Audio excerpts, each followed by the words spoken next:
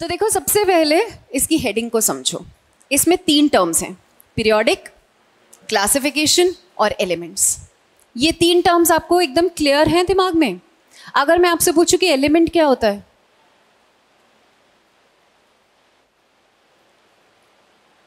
Element क्या होता है? एग्ज़ाम्पल मत देना, मैंने पूछा एलिमेंट क्या होता है? ये मत बोलना, मैम हाइड्रोजन सोडियम ये सब, ये तो एग्जाम्पल्स है. एलिमेंट होता क्या है? एक ऐसा सब्सटेंस जिसमें सारे एटम्स एक ही टाइप के हैं। ना? एक ऐसा सब्सटेंस जिसमें सारे एटम्स एक ही टाइप के हैं और उसको फर्दर सिंप्लीफाई करना या फर्दर ब्रेक डाउन करना किसी भी तरीके से पॉसिबल नहीं है। जैसे फॉर एग्ज़ाम्पल हाइड्रोजन हाइड्रोजन एक एलिमेंट है। तो हाइड्रोजन में अगर आप देखो तो ये किससे बना हुआ है? दो हाइड्रोजन एटम के बीच में एक सिंगल बॉन्ड है ना? तो इसमें जो भी एटम्स हैं वो सारे एक जैसे अब अगर आप चाहो कि इसको हीट करके कूल करके फ़िल्टर करके इवेपोरेट करके कंडेंस करके हम इन दोनों को अलग अलग कर दें एच अलग कर दें एच अलग कर दें तो फ़िज़िकल तरीके से ये पॉसिबल नहीं है। आप सोचो हम इसका कोई केमिकल रिएक्शन करके इनको अलग कर दें तो ये भी बात पॉसिबल नहीं है, क्योंकि ये एक एक एटम स्टेबल नहीं है। अगर आप इनको एनी हाउ ब्रेक करते भी हो या ब्रेक होते भी हैं तो भी ये फर्दर या तो किसी और के साथ बॉन्ड बनाकर मॉलिक्यूल में कन्वर्ट हो जाएँगे। कुछ नहीं मिलेगा तो आपस में दोबारा बॉन्ड बनाकर मॉलिक्यूल में कन्वर्ट हो जाएँगे, लेकिन एग्जिस्टेंस हमेशा किस फॉर्म में रहेगी? इस फॉर्म में रहेगी। Right right? तो एलिमेंट के बारे में हम दो चीज़ें बोलते हैं। पहला, कि जितने भी आइटम्स हैं वो सारे एक ही टाइप के। अगर आपने सोडियम का एक पीस ले लिया तो उसमें सारे आइटम्स किसके होंगे? सोडियम के होंगे, किसी और के नहीं होंगे। और आप सोचो कि हम इसको फर्दर सिंप्लीफाई कर दें किसी भी तरीके से तो वो पॉसिबल नहीं होगा। अगर इसकी जगह मैंने H2O लिया होता, अगर इसकी जगह मैंने H2O लिया होता तो इसमें पहला डिफरेंस तो आ गया it contains two types of atoms कुछ एटम हाइड्रोजन के, कुछ एटम ऑक्सीजन के, जो बॉन्डेड हैं, है ना? ऑक्सीजन का एक एटम है और हाइड्रोजन के दो एटम्स हैं। अब मैं इसको हीट कूल इवेपोरेट करके तो ब्रेक नहीं कर सकती, क्योंकि वाटर क्या होगा? सॉलिड से लिक्विड में कन्वर्ट हो जाएगा लिक्विड से गैस में कन्वर्ट हो जाएगा, टूटेगा नहीं। लेकिन अगर मैं इसके थ्रू इलेक्ट्रिसिटी पास करूँ, यानी इसका इलेक्ट्रोलाइसिस करवा दूँ तो ये ब्रेक हो जाएगा किसमें? H two plus O two में। यानी इसको ब्रेक करना किसी तरीके से तो पॉसिबल है ना? ये एलिमेंट की कैटेगरी में नहीं आता। ये कंपाउंड है। ठीक है? एलिमेंट क्या हो गया? जिसमें एक ही तरीके के एटम्स हैं और उसको किसी भी तरीके से हम फर्दर सिंप्लीफाई नहीं कर सकते। उसका कॉम्बिनेशन करवा सकते हो आप। इसका कॉम्बिनेशन ऑक्सीजन से करवाकर वाटर बना सकते हैं। इसका कॉम्बिनेशन क्लोरीन से करवाकर एच बना सकते हैं। ये सब कर सकते हैं, पर इसको फर्दर ब्रेक नहीं कर सकते। तो ये तो हो गया एलिमेंट ठीक है? अब स्टार्टिंग में बिल्कुल बहुत पहले की बात कर रही हूँ, बहुत कम एलिमेंट्स थे, जैसे गोल्ड कॉपर अच्छा सबसे पहला एलिमेंट डिस्कवर होने वाला कौन सा था? सबसे पहला एलिमेंट सबसे पहला एलिमेंट जो पता चला था या किसी ने नोटिस किया था या किसी ने डिस्कवर किया था, वो सबसे पहला एलिमेंट कौन सा था? फॉस्फोरस सबसे पहला एलिमेंट कौन सा था? फॉस्फोरस और उसके पीछे भी बड़ी अच्छी सी इंटरेस्टिंग सी स्टोरी है, कभी अपन बोर होंगे तो मैं वो सुना दूँगी। ठीक है? तो ऐसे करके एलिमेंट्स क्या हुए? डिस्कवर कॉपर है गोल्ड है आयरन है, इन सब का यूज़ तो बहुत पहले से स्टार्ट हो गया था। फिर धीरे धीरे करके नंबर ऑफ़ एलिमेंट्स बढ़ने लग गए। जैसे 1800 सेंचुरी तक 31 एलिमेंट्स डिस्कवर हो गए थे। फिर 1865 तक 56 हो गए थे। 1869 तक 63 हो गए थे। और आज की डेट में कितने 118 पूरी पीरियोडिक टेबल अपनी कंप्लीट हो चुकी है है ना? 118 एलिमेंट आज अपने पास हैं। राइट अब 118 एलिमेंट की प्रॉपर्टीज़ होंगी और हर एलिमेंट की दो सेट ऑफ़ प्रॉपर्टीज़ हैं। कौन कौन सी? फ़िज़िकल प्रॉपर्टीज़ होती हैं। वो दिखता कैसा है है ना? उसका कलर क्या है? उसकी फ़िज़िकल स्टेट क्या है? उसकी डेंसिटी क्या है? उसकी कंडक्टिविटी क्या है? उसका मेल्टिंग बॉइलिंग क्या है? उसका बॉइलिंग पॉइंट क्या है? ये सारा उसकी फ़िज़िकल प्रॉपर्टी का सेट होता है। और दूसरा होता है उसकी केमिकल प्रॉपर्टीज़ वो कैसे रिएक्ट कर रहा है? किससे रिएक्ट कर रहा है? क्या कंपाउंड बना रहा है? किस कंडीशन में रिएक्ट कर रहा है? ये उसकी क्या होती है? केमिकल प्रॉपर्टीज़ अब एलिमेंट की आपको फ़िज़िकल और केमिकल प्रॉपर्टीज़ का आइडिया होना ज़रूरी है। क्यों? क्यों? क्योंकि नीट का एग्ज़ाम है हमारा। क्यों ज़रूरी है? किसी भी एलिमेंट की एग्जैक्टली exactly तो देखो लर्न करना पॉसिबल नहीं। एक सौ अट्ठारह एलिमेंट है हमारे पास और उनकी इतनी सारी फ़िज़िकल प्रॉपर्टीज़ और इतनी सारी केमिकल प्रॉपर्टीज़ हैं पॉसिबल नहीं कि आप एक्यूरेटली उनको लर्न कर पाओ। लेकिन आपको अंदाज़ा होना ज़रूरी है, किसकी क्या प्रॉपर्टी है किसमें कैसी प्रॉपर्टी है, क्यों? सपोज़ मैं तुम्हारे पास आई, एक प्रॉब्लम लेकर। मैंने बोला, ऐसा है, मुझे ना वायर बनानी है।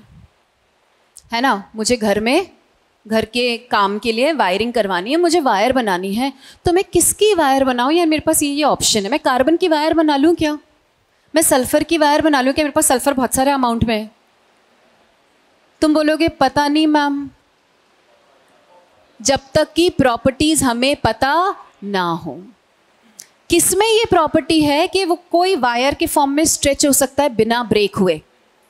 कौन सी प्रॉपर्टी होती है? अरे वो तो बेसिक रीजन है ना। प्रॉपर्टी कौन सी है? The property to be stretched into thin wires without breaking ductility है ना? To be drawn into wires drawn into wires ductility और एक प्रॉपर्टी होती है शीट बनाने की। वो मिठाई खाइए मिठाई। चांदी का वर्क लगा होता है। है ना? तो चांदी का वर्क क्या है? एक फॉइल है ना? एक शीट है ना? या गोल्ड की फॉइल हो गई। एल्यूमिनियम फॉइल वो तो सबके घर में होती है एल्यूमिनियम फॉइल तो वो क्या है? शीट है, बहुत थिन शीट है। ये वाली प्रॉपर्टी मैलेबिलिटी बहुत बढ़िया। तो अगर मुझे पता ही नहीं है कि किसमें क्या प्रॉपर्टी है तो मैं उसको यूज़ नहीं कर पाऊँगी। फिर मुझे सारे एक्सपेरिमेंट कर करके देखने पड़ेंगे।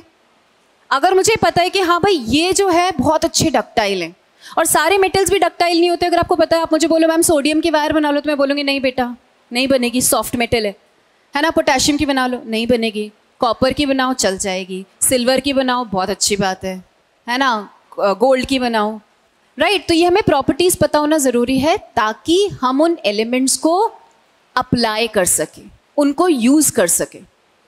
तो जहाँ, जब, देखो ह्यूमन नेचर क्या है? कोई भी चीज़ आसपास दिखती है ना तो हम उसको यूज़ करने के लिए दिमाग लगाते हैं कि हम इस चीज़ को कैसे यूज़ कर सकते हैं। This is basic human nature तो जब एलिमेंट्स डिस्कवर होना शुरू हुए तो हमें लगा, अरे, हम इनको कहीं ना कहीं क्या करें? यूज़ करें। किसी ना किसी तरीके से। पर यूज़ करने के लिए क्या पता होनी चाहिए थी? प्रॉपर्टीज़ फ़िज़िकल प्रॉपर्टी भी काम में आ रही है और केमिकल प्रॉपर्टी भी काम में आएगी। ऑर्नामेंट्स क्यों सिल्वर और गोल्ड के बनते हैं? बिकॉज़ वो एयर से रिएक्ट नहीं करते। वो मैलिएबल है शीट बन सकती है डिज़ाइन बन सकता है। वो डक्टाइल है, तार बन सकती है।